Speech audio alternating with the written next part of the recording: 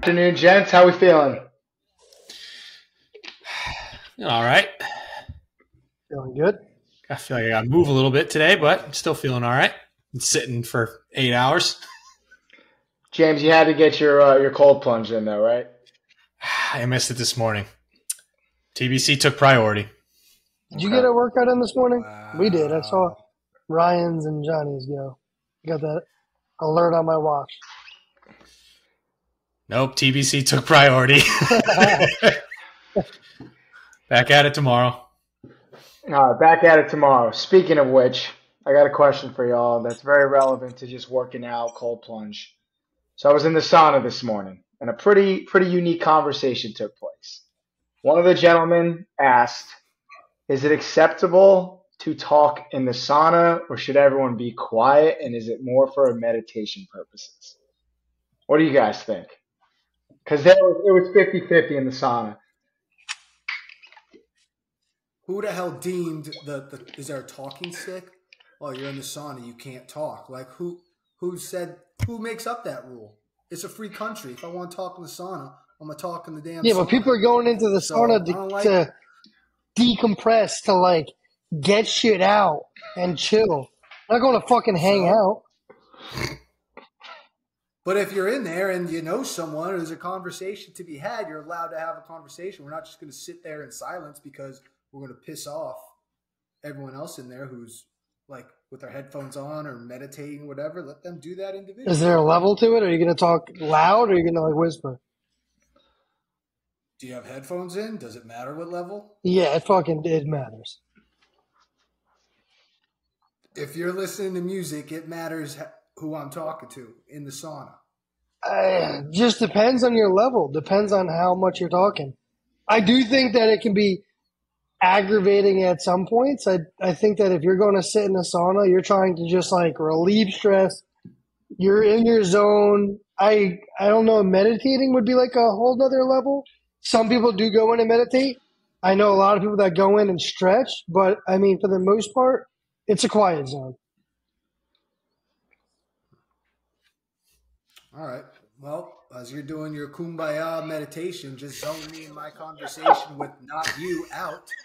I'm not talking to you or whoever. I'm talking to the person who's talking. You're in to a me. fucking So eight by eight by eight square fucking teak wood room. It's not. We could we could be having a great networking business conversation. Take it outside. We're not Take it outside. You. We're talking. Take it outside. Take your meditation to the steam room. That's what I fucking say. Sauna, we'll talk. Steam room, I can't even see you, so there's no even point in trying I'm gonna say Oh, TNC. This is True, fucking but, like- hilarious. True, but I, I still think that. I mean, what are you trying to fucking do a podcast in the sauna? That's a good idea. I don't think it's been done before. We could try it. I just, Johnny, I, Paul, Kenny, and I steamrolled that. What was your experience today? Because it sounds like it hadn't directly happened to you. It was 50 50. We, uh, listen, you, you start to realize it's the same people that are talking and having conversations in there.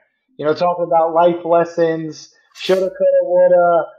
Back in my day, I was doing this. I was an all time this, all time that. Um, I don't know. I think for me personally, I don't mind the conversations if I know who's in there.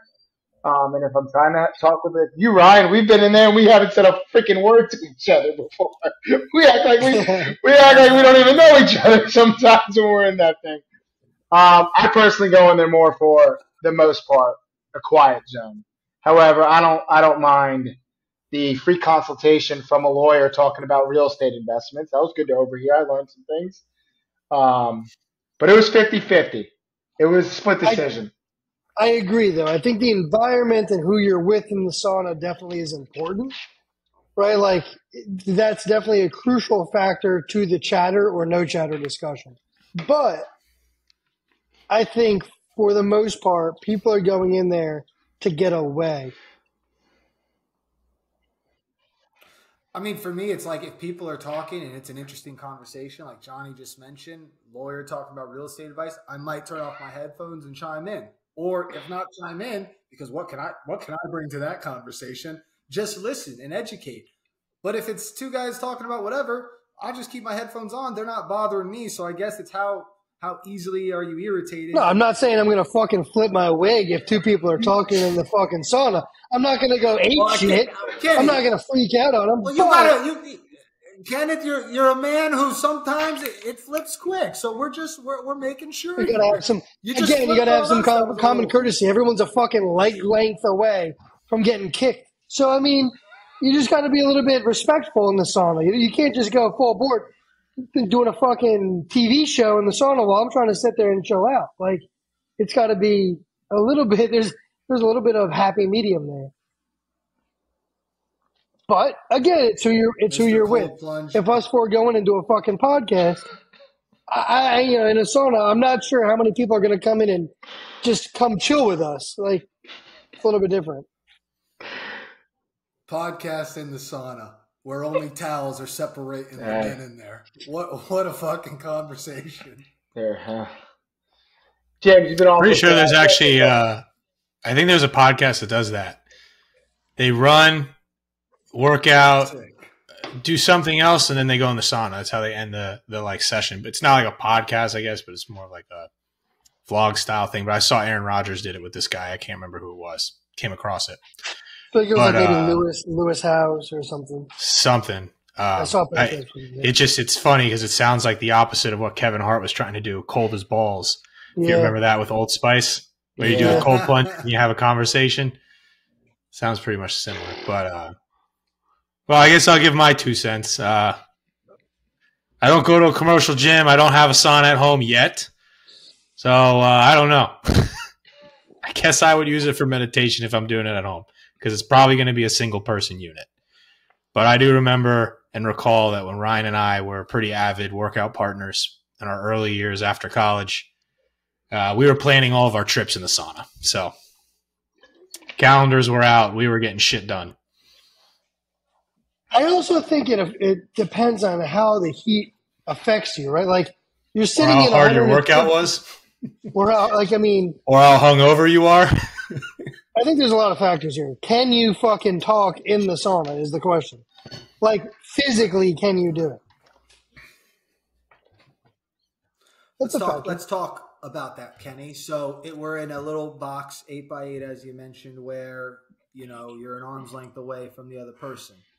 Now I got Joe Schmo next to me, and he's just crushing all of us doing some yoga, really showing us how awesome he is. Does that offend you, or because it's in silence, he can do his yoga? He might take up more space, or does the con people talking in the sauna like, are you putting that in the same category because it's in silence? Yoga and the sauna we're- we're okay with. Listen, At a I'm not- community sauna, I don't think so. I'm not saying throw a fucking yoga mat out and take up the whole fucking facility here. But people do it. But people do it. They have to have the common courtesy though to stop if other people are coming in. It's getting packed. If some dude That's take just up gym etiquette. sauna- yeah, I mean, come on. I'm gonna say, bro, like fucking relax. Go If it's just like- you and this person, plenty of room. All right. Yeah, and then like I'll like lay me lounge out. I'll lay down at like the top fucking level. You do your your fucking yoga session on the bottom. That's cool.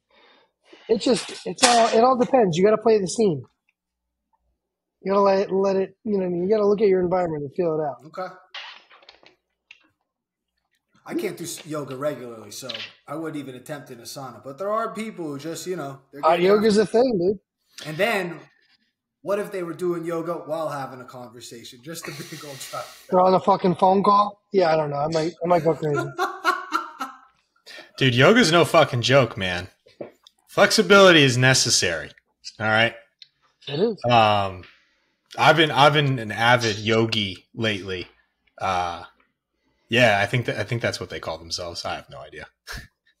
yeah, just a Peloton app, but hey, uh, you know, you need that flexibility. You sit in a chair all day, and you need to you need to stretch out the muscles a little bit. But you know, it, it doesn't go to say that you you you, you you do yoga, you're stretching, but you also got to work on mobility here too. Okay, they're both they're both pretty important. I don't know if you guys even work any stretching or mobility into your fitness routines, but You know, before my run today, as Kenny mentioned, I, I, I rolled out. I gave about a 20 second calf stretch on each one. And then we went forward and we prayed to God the entire run that no muscle pulled and no muscle did pull. However, there have been many times where the calf muscle does go. And then I tell myself, hey, Ryan, you probably should have stretched for more than a minute before going on that run. But I don't know, man. You know, stretching could take time. It does. Like a good stretch is 10, 15, 20 minutes. And It time promotes oh, honestly? muscle Who's got time longevity, though. out? You won't get hurt. I'm not saying you're wrong. It's Preventative measures. It's got its purpose. I mean, you remember, right, that when before football practice, we always had to go through a dynamic warm up, by the way, where it's more of a moving stretch and not phys- like, you know, actually stretching out your hamstrings, bending over, touch your toes Oh, kind of deal. Um, which I I don't know. I'm sure there's controversy, uh, debate around which which premise is better. I mean, I always hear the saying, "Well, have you ever seen a lion stretch before it takes down a gazelle?" Well, I think that that lion might be a little bit more mobile, so uh, I think they can go ahead and just take it down or whenever the fuck they want. They're not sitting in a fucking chair looking at a computer screen and Excel sheets all fucking day. But Yeah, I think it depends on what you're after. You know, I'm like by nature, I'm not flexible, so I spend a little bit more time on flexibility, but also because like I think as you get older, range of motion, mobility becomes a little bit more difficult. So you need to concentrate on that a little bit more. mhm. So I think it, it all it all goes to the same place, which is like, what are you looking for? And if you're looking for longer, um, you know, I guess longevity and less issues or like joint issues and muscle issues, I think you need to do it all. It just takes time. I know for the longest time, people have always said like flexibility was key and to make sure you stretch in the morning and blah, blah, blah. It's only been recently that I've heard the term mobility kind of get thrown around a little bit more in the fitness world. Um, and I think it's important because, I mean, you, you look at some guys, especially some football players too, right? They're just big and yoked and, you know, they got a bunch of muscle that they're carrying. And then people are like, ah, he's tight, you know, that guy's not, not flexible or mobile. There, there's, you know, you can't you can't be big and flexible and mobile. It doesn't that doesn't correlate. But I think that's starting to get proven wrong lately. I, I don't know if you guys are familiar with Jujimufu. Um, he's the guy that does the splits. Yeah, he's Oh, he's yeah. pretty big. He's pretty big on YouTube. Yeah, I know who it is. Long pants. Usually has his shirt off. He's jacked. Now he's actually doing bodybuilding. He, he used to do. Uh, I can't remember what it's really called, but it's kind of like a parkour type deal. A lot of acrobatics, jumping around, flips and shit. Dude's athletic as Mhm. fuck. Parkour. but he was the one that did the he'll, he'll take like the the barbell does an overhead Yeah. press and then he's got There's a lot chairs of splits. his feet split out yeah Yeah, you probably seen him before ryan you seem a little confused I follow. but i think he's he's one of those guys where uh he kind of proves you wrong you can have size and be mobile and flexible So it's uncommon that with more size, I think that the flexibility aspect dwindles. I think it's harder to get. Well, one, you know, range of motion is is more difficult. Well let me challenge you with this kenny as for what ryan said it takes time to be flexible and put and all that stuff how much time are you putting into building all that muscle versus being able to make that muscle flexible and stretchy i think that's the difference it's not that it's harder Oh, it's yeah. just it takes more time Time, yeah. Well, you're Yeah. you're looking at multiple different things. Like, Yeah. What are you spending time on? Building strength and power, or becoming more flexible and mobile? It's a different workout, and it can take you 45 minutes to do both of those workouts independently. Increase flexibility and mobility, and then increase strength training. I mean, two completely different workouts, but they both, you know, really uh, do a lot to your body, but they just drive you in a different direction. So, yeah i think it's all about balance right? We, we've talked about that so many times. There's so many different ways to work out and exercise. It's all about balance. You got to get cardio in you got to get flexibility mobility training in you got to get weight training in you got to get that zone two in. I mean saunas and it's just a lot but i think i think it's important. There's been The- just a lot of debate about flexibility and mobility recently. The Netflix special, The Quarterback, that takes you through Pat Mahomes, and I forget, I think the other one was Mariota, the first season. Um, they take Mahomes. The the footage will take you to like his private workouts, and he's got sessions that are just geared towards flexibility yeah. and mobility, and then it kind of talks about how he prepares his body for being contorted in different ways, and and he went through some tough injuries with his ankles and just some of the falls he took where his body's in awkward positions, but they kind of in the episode kind of go back to all that training, all that time that he put in to get his body prepared for those moments when it happened.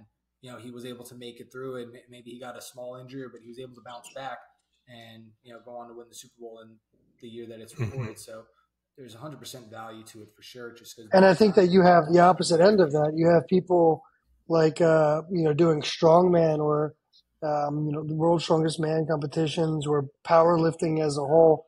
You know, if you look at people like Derek Poundstone back in the day, who's you know a really big dude, but they concentrate Poundstone, on that's a fucking power. last name. yeah, he, yeah. I went to his gym and uh, it's crazy. I mean, this guy squats 500 pounds like it's 135. Yeah, like nuts, right? I mean, these guys are just animals at it, but I, they're they're not going through what Mahomes is going there. through on a day to day. They're not getting tackled. They're not uh, you know, going to uh, to do any like crazy movements or whatnot. And then you have to look at it. It's like, well, you have to weigh that out. Are they going to focus on flexibility or building muscle? And there's only so much time in a day to continue to to exercise. So, I would also argue. I also argue for the common man. You know, it's it's important because uh, uh, you could you hear people throw their back out all the time, and it's predominantly because their hips are tight, right? I mean, that just that happened to me this past year, and and I ended up uh, working on my hip mobility, and, and I found out that um, my internal rotation on my hip was was messed up, and so I worked hard at that, and now I feel fantastic. And actually, from the mobility perspective, I worked on making sure I can get deeper in squats, work on load, that kind of stuff. And I'm telling you, it feels, I feel fantastic. It's so much better. I feel so much more mobile. I don't hurt when I wake up as much. Well, so, now, now they have these places like that that help you with manual stretching, which is a whole new different thing of of the flexibility and mobility world. Which is you, you're here like uh, Stretch Labs. If you've ever heard of that, or there's another one out there too. Uh, Stretch Zone, I think it is. Uh, it's like franchise model stuff. Uh, eh, or you can go to a massage therapist and whatnot as well, but they do manual stretching or physical therapist if you go to a sports physical therapist. But manual stretching is a whole new realm of things. If you're not like they literally strap you to a table and stretch you and move you. It's pretty mm-hmm. nuts, but it's picked up steam in and, in and of itself in its own division of health and lifestyle and fitness and rejuvenation and longevity. So uh, I'm not I'm not sure if you guys have ever been to them. I've never been, but I've seen a lot of them, uh, and I've gotten manual stretch therapy for from physical therapist. Same, but not from like a stretch labs or something of that sort. That that's kind of what opened my eye to it was when I went to physical therapy for my back. But yeah, a lot of good stuff. Yeah. I mean, with with all this, right? We talk about the, in our podcast. We talk about the average Joe, the regular person, and you know, you got your responsibilities, you got your family, you got work, and then trying to keep your fitness up. Like, but we only have those twenty four hours, so it all comes back to time. And the one thing, the one constant that I always look back to is things I can cut. I feel like I can cut down on sleep. Like that's where I can maybe gain some hours back for more time in the day. And you know, everyone's different. Whether you're sleeping four, five, up to eight hours you know, what's kind of how do you guys approach that? Um, Johnny, you might just from a sleep standpoint, what's that sweet? What's that recipe for you know number of hours that you all need where you're going to be productive? Because for me, it's like I'm a night owl, unfortunately, but then oh, I want to get up early, I want to go to the gym, so I go to bed at, at midnight, and then I wake up at you know five o'clock, and that might work Monday, Tuesday. By Wednesday, my body just says no, and I fall asleep on the couch at 8 p.m. Mm-hmm. Um, and then I lose the night. So I think five hours is a good sweet spot for me, but then my body reacts and says no. So what? What's your hours where you feel like, hey, this is enough where I feel fresh the next day. but also I'm getting some time back, or maybe you're not. Maybe you're fully committed to a strong sleep schedule, more like eight hours, nine hours. I think it's different for everybody. Um, I've looked into this a lot, and you could wear those wearables now, like the Oura Ring or um, what's the the band that you have, John? The Whoop band. Whoop! Um, there it is. Sorry. all of these things that allow you to track your sleep a little bit more aggressively and tell you your they someone called they call it a readiness score, right? So the readiness score allows you to see if your body is fully healed based off of your recovery timeline and sleep and nutrition and fitness levels and all the all the shit that goes into living this healthy lifestyle. But I think it's different for everybody. I think men and women depending on where they are, the age in their life. I think that's a factor. I think men and women have different factors. I think where you live has a factor. I think what you consume has a factor. So I think everyone is so different. But I think that one thing that everybody has in common is exactly what you said, Ryan, which is you can get this five hour streak for a few days, but then it, it gets all fucked up and you crash and then and that's out of the window, right? So it's about keeping a consistent program and trying to, to build that, um, which is the most difficult thing. And I think that's what's the hardest for everybody. But to answer your question, for me, it's six and a half hours. so specific. But it should be specific from what I understand. I, I feel like everything, like from all the sleep studies and stuff that I've read up on and, and whatnot, you, you, there's a definite sweet spot for people. Yeah. Um, I've tried to do like five. I know someone that sleeps in two hour increments. Isn't that crazy? All the time. That might be you too, John, but like legit, it's crazy. You just, you know, you look at your day to day. It's like, okay, you got work, right? You want to have at least a little downtime to spend, whether it's with your significant other, it's with your spouse during the week. We all have things that we have to do post work in the evening to try to be productive, whether it's just shit around the house or it's recorded a, a podcast, whatever. Then you want to live the healthy lifestyle. That's an hour and a half minimum. What maybe two hours if you're adding sauna, steam room. You're talking about commuting to and from work. Like all this stuff adds up. So for me, the thing I always try to cut out is sleep. Um, sometimes it's successful, sometimes it's not.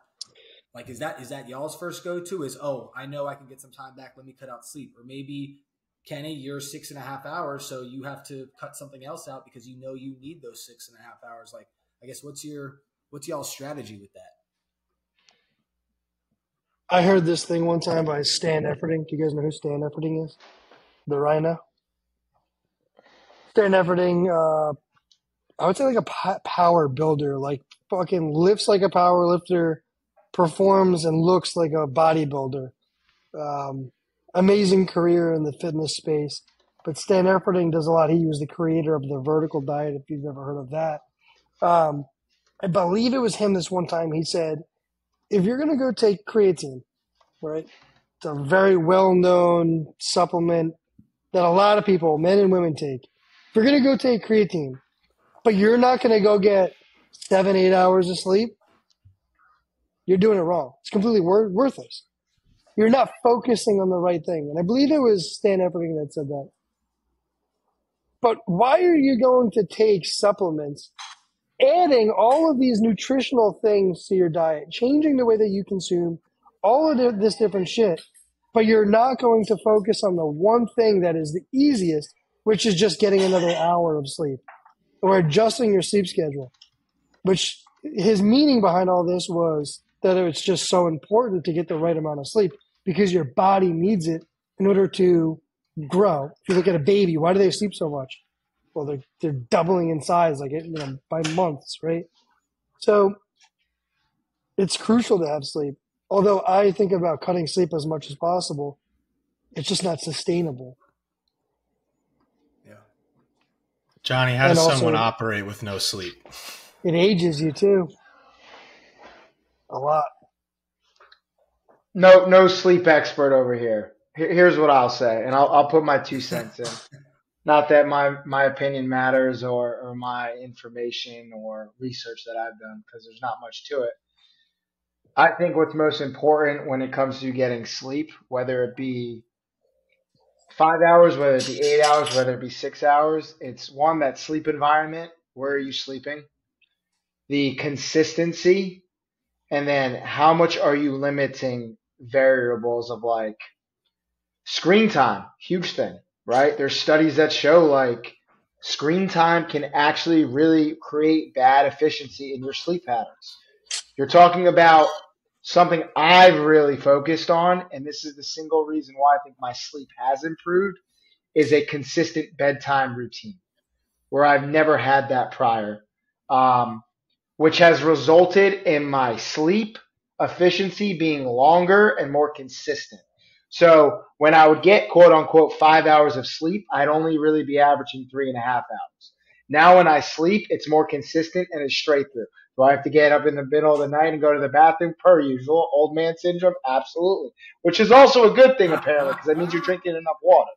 Um, and then managing stress. Like if you're able to try to just combobulate that and friggin' throw it away, I think that's the single one most influential thing in my sleep patterns being a little bit better. I don't like to overcomplicate things. I think just from like a scientific research, it's information overload. You know, uh, there was like a what's his name had like Dr. Walker on his podcast, and he was talking about how eight hours is the exact amount, and this is the reason for it. And then there's a contradiction from another doctor saying that's actually not true. It's if you get two hours of sleep consecutively, then break it down, yada yada yada.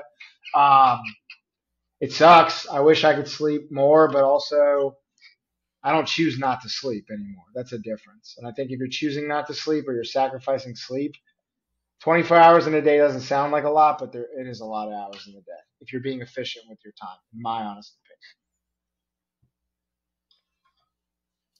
Bam. Mic drop for sure.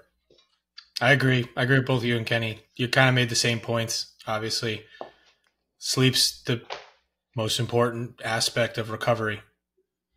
Uh, I mean, there's plenty of studies showing how crazy people get when they don't sleep. They force them to not yeah. sleep, and they get it gets fucking weird too.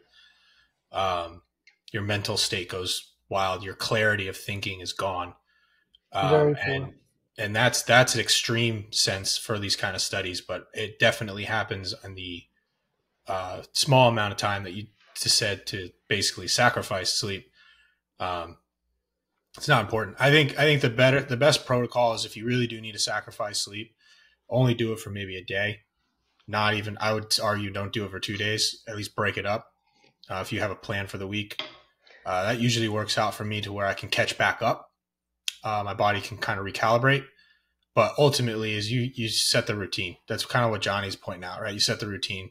There's a lot of science and diff- different things, tips and tricks that you can do. Don't get the blue light uh, type uh, I think they call them cool light bulbs. You can get the warm light bulbs. Mm-hmm. Uh, don't turn on the blue the blue lights. Turn on the, the kind of like yellower lights. That helps. Um, get get sunset. That helps. Um, mm-hmm. You know, try to wind down. Don't be doing too much rigorous stuff. Reading uh, helps a lot for a lot of people, but ultimately, sleep's probably one of the most important things after all the stuff that you do during the day it actually even to this to an extent of what comes back to mental capacity it helps you retain information so you work real hard do all this stuff especially if you're trying to get certifications you're trying to get your degrees you're trying to do this that and the other you will not remember anything if you do not get quality sleep. Fact. Thank you andrew huberman. Well i don't know about you guys but i feel like in the the generation of like being able to go on a YouTube or listen to a podcast somewhere, I feel like sleep has become more of a sexy thing to talk about. Like I don't know mm-hmm. if I only believe that or if that's like my perception, but I feel like there's just so much more information around sleep versus prior. It's like work hard, da da da, da and figure it out, right? Yeah, I agree completely. Grind. And you know, I, we just have access to science and medicine so much more now than ever. So, I mean, I actually I, I can turn this into a question to a question and to pose to you guys: Has medicine not even not even as a whole, because I think that there's good and bad sides of this. So, has medicine, aesthetics, changed the way that we view fitness? I think in in this light, like, yeah, I think there is so much science on sleep, and it is a sexy term, and it is it should be a more thorough strategic part of your schedule. Going to bed at the same time, waking up at the same time, getting sunlight, all of these things now, which we have more access to, is crucial to who you are and to be to being able to actually perform at your at your peak. And I think that's what the game is: is like how do I perform at my optimal self? And by having a sleep schedule, I think it's part of that. Dude, I 100% agree. And I've got one specific comment to make on this. I used to be on blood pressure medication. No longer on it. Had it for. Hey, that's, that's an applause. yeah, but that is that. No, that's a huge thing because there's a huge. lot of people in this. It's huge. But but why? What did you do? A lot, a lot. So I worked with my doctors on this. We tracked a lot of it. Um, to, to, to, make a long story short, uh, when I did break my neck, they think that I triggered pre hypertension back then. So I've had this since college, so a little over uh, 10 years. Um, went through a couple of different very low dosed, uh, dosed uh, blood pressure medication. First thing that changed was once I was done with college, started have, making more money, I could afford to eat better. So diet, right? Now it wasn't 100% all the way there. Um, then exercise became a thing, right? Put too much stress on the body as far as building muscle. Um, found out that if I do some more cardio, um, keep the heart rate up, that helped a lot. But okay. ultimately, it was the continued effort in my diet doing the greens now, right? That's a big thing that's been going around. Greens helped me a lot. My entire blood panel is so much better just because of taking that stuff. Literally, a night and day difference over three months. Um, a lot of the stuff from Andrew Huberman, where I'm getting more hydration during the day, first thing in the day, getting getting the organs all watered up. I mean, that's huge to just kickstart your body. Get rid of, uh, I think it's adenosine or whatever your body makes when you're sleeping, and you have to like wash that shit out. So, I mean, cold plunges help with that. Sunlight helps with that. Working out in the morning helps with that. There's different factors that can get those things through and be make you more optimal and perform better better clarity, better blood flow, um, better recovery overall has made my body not need that anymore. It, it now is able to run efficiently, do the things that I, I'm asking of it to do. Uh, I still push it, but I truly believe it's all the information I've gotten from medical professionals over the years that has helped me put protocols and programs into my daily life that have helped drastically on top of that, I think that you just mentioned something that I think is key as well, which is the greens has helped better your blood panel. So you religiously go get a blood test and observe all of your the metrics metrics that align with a better better health, right?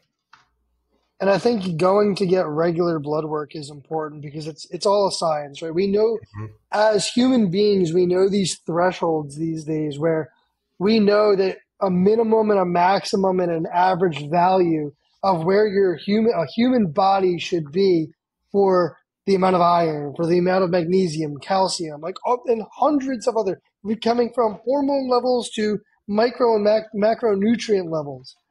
So going to get these regular blood work panels done is a really good way to measure your internal health, the things that you cannot see. Mm-hmm. But on top of that, you just recently went and done uh, a uh, another test, which the DEXA scan, the DEXA scan, which is a whole nother level. If you want to talk about that, I think that that's a really cool way to observe how health and medicine and these advancements yeah. are pretty beneficial. 100%. I, I think uh, what this has shed some light on for me is that I really do need to have uh, a hard look at my diet. Um, one of the, so when it came to the greens, my doctor honestly flipped out. She couldn't believe that my blood panel was. It, she said it changed night and day from from my previous blood work to this Wow. one. And I think it was I was doing blood work. I think every six months to maybe a year. Um, so that was the first shock. Um, and then so again, continuing that effort for diet, the DEXA scan kind of showed me I'm, I'm sitting around around 23% body fat. I weigh about 213 again, metrics, just giving some more information. Um, I want to go down to 15%. So I know that there's a way I can eat cleaner. I, I don't need to, you know, be, be eating large sums of, of Chipotle and, and Publix subs and, and all these other things. Um, I need to eat smarter. There, there are healthy carbs that help you with energy, um, putting more uh, focus on protein and, and macros. So I'm going to go the macro route and try this out with the DEXA scan and uh, uh, two two goals. It's not just the 23.4 percent body fat that I want to reduce to 15 percent, but there's also this other thing I, I learned through this process was visceral fat, and that's something that you want to keep low. Um, so mine's a little bit high. So again, these metrics are helping me scale and plan and and and see what works and what doesn't work, which is another thing, right? Everyone's different. Not everything's going to work. I might be preaching greens, but that might not work for everybody. Um, so there is that. You got to always consult with a, a medical professional before doing any of these things. You know. Yeah, agreed. Cool. Fifteen percent body fat is that because that's your favorite? That was your. No, that's that's that's good. Oh, that's just what. No, it's actually what is recommended through the DEXA scan. What what I should based off my body size. Nice. So bone Oh, density. I, I didn't. Yep. I didn't know they gave you a recommendation on that. Yep. It's at age, all that stuff. And sex comes down to it too, because male and female way different on how they carry body fat. Of course.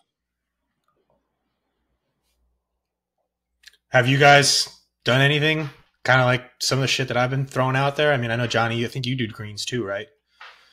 Yeah, I don't think actually- Ryan, you've gotten on the greens yet. I I actually, um, it was funny enough because I get my blood work done every three months now, and it's eye opening as someone who is a, I am very much so, I'll be quick with this, very firm believer in being more simple about things can only benefit you more. Um, as someone who lost weight, has gained weight, has changed very simple eating habits, I've seen success by just being just very basic about things. Just don't eat like crap. Lower your portions, eat a little bit more protein, stay away from the bad stuff, and exercise and move your body a little bit. You'll lose some weight. and You'll be much healthier. However, on your question around the greens, I actually met with my doctor a couple of months ago, and I was like, "Hey, like," and I'm not. I forgot the name brand, but he literally did a, ch- a search check and just looked at all the crap in the greens and was like, "This is why you're feeling the way you are. Get rid of it now." And I'm like, "Interesting." Um, and he kind of broke down a lot of the variables and the factors and and how there's too much of this and this is why it's offsetting the way your body is and what it really needs to be appropriate and efficient to X, Y, and Z. Um, which was really cool. And again, you only get that if you go to an expert and someone Yep. who's a professional in what they do. Um, but I actually had him look into AG1, right? Because you see the advertisements, and it was interesting. He never recommended it, but he actually never heard of it either, which I was kind of very unique to hear. Whoa, really? everywhere. So we looked into it, unbiased approach, and he goes, "No, this is actually pretty good. I'm actually very surprised." Because he's like, "Where did you find it?" And I was like, "Dude, you go on YouTube, and it's all over the place." like, Yeah. it's like, all right, well, Watch something. they're they're it's not false. It's actually pretty good. Like there's ones that are better out there for you, but AG1 could be a lot worse. Let's just say that, um, which was very interesting. And one little research on his expert level changed the way I felt from a gut health perspective. That's awesome. So Very Yeah. That's huge. I mean, there are a lot out there, and I think that's the big the big uh, uh, checkpoint, right? Um, I I decided to go for the greens on my own, and then I consulted with the doctor after after the fact, which I don't know if that was right or wrong, but I really went from a financial standpoint because I didn't I wanted the greens, I wanted to try them out, I wanted to see how they went. However, I didn't want to spend AG one prices. no, So I started off with this company called Enzo, which now got bought out by Live It Up. um, they're they're still I think pretty uh, qu- high quality ingredients is, is kind of what you got to look into. But not all of them are the same. I know Huel is a big one that I think's going around social media late, recently. But yeah, I just want to throw out which one I was doing, which one I was I was consuming because uh, I know a lot of people are looking into that stuff. But Ryan, you put up a goose egg, huh? Uh, yeah, no greens for me. No blood work for me. I couldn't tell you the last time I got a physical or got my blood drawn.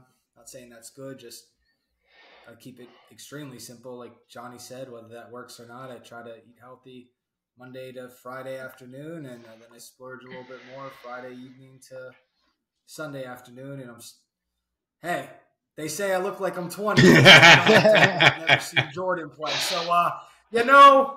It's working pretty well thus far. No need. Yeah, man, that tank top's really doing you some justice. So sleep a couple extra. That's right, man. Look how swole I am because uh, you know I get a lot of sleep, so obviously the body has recovered for sure. Unbelievable. No doctor, huh? We gotta we gotta change that around, Ryan. I, I my my company used to do physicals on site, so I got my physical every year at work. They would draw blood then, and then the pandemic they stopped that. I haven't, I have not had the need. Knock on wood, very much right now. Saying that, um, I probably will and should at some point, but to this day, haven't had my blood my blood drawn in four years, so we're fine. Well, well you could think you're fine. That's the fact. To James's point, like that's that's the unique thing. Like for me, until this past year, like I never really took any of that serious, unfortunately. Um, but then you actually peel back, and you're like, damn, just a couple of simple fixes from a, a professional can actually change, or most important, be preventative future state. Like that's the biggest mm-hmm. thing for me. Um, and I think all of us, right? Like that's why we're doing this for betterment. Um, 100%. Yeah. Yeah, dude. Go see a doctor, bro. Yeah, I mean that that kind of happened to me with the blood pressure thing, right? I was I thought I was fine while taking the pill. Didn't bother me. I felt good. It is what it is. I feel so much fucking better than when I, you know I started seeing my doctor. We started working on this stuff. Um, you know, first it was vitamin D pills because um, I mean that's just shit I just don't get. I don't get enough sunlight and all that crap, um, which is just hard for a lot of Americans. But uh, the other one was actually fish oils. That was the next one that we started doing, and I, it's just it's these little things for um, low cholesterol. I believe was for the fish oils um, to help that panel. Uh, it's just those little things that it, it, might feel incremental, but it makes a, a, huge difference. Huge difference. Now I know a lot of people are scared of doctors. I know that's not the reason why you're not going. It's it's more of a I feel good. Why do I got to go kind of thing. Um, mm-hmm. Well, I go find out something's wrong when nothing ain't wrong. If something's wrong, then I'll go. Yeah, and that's the other side is sometimes these doctors could be a crock of shit. yeah, that's right. So, Push which I think it makes it makes However, a point to find a good doctor. I found a good doctor. I asked around, and, and that's yeah. why I like I like my doctor. She's fantastic. 100%. But anyways, that's a, that's a good point. That's a great point. Well, I think it's important to get checked as a whole, or just keep up with the the blood tests and the frequent stuff that could potentially lead to you just having more awareness of your body and your and your performance and uh, that's and again what you do not measure you cannot grow so if you're looking to grow in any way it's important to measure it and how you do that these days is a blood test or a DEXA scan or anything else that's out there because there's a lot of shit mm-hmm. A lot of shit. Yeah. cool. Well, I think we hit the nail on the head. So, point is, go get a blood test. Just kidding. But let us know if you let us know if you do any other if you've taken any other tests that you think are really beneficial because there's a lot of stuff out there. I mean, it can be as basic as uh, you know a, a very simple uh, I would say a very simple like physical test, like a physical analysis. I've seen those where it's just like observing mobility in different ways or flexibility in different ways, which can be done at home by yourself with no, you know, professional. or as in depth as a DEXA scan, or you know, there's there's tons of other more in depth processes than even a DEXA scan. Or even the Um, protocols that you've put into place, kind of like Johnny said with his, uh, you know, nighttime routine.